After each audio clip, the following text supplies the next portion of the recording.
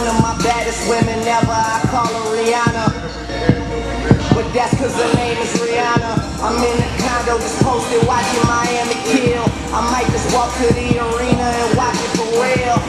Ashes to ashes, me, Rose, and Khaled. Smoking bull rider, shit moving slow as a ballad. Tattoo on your ass, it'd be nice if you show me. I'm buying bitches first, Mike Tyson Naomi. I got the right to do it, it's only right to do it. Love me Still love my team, ain't no other.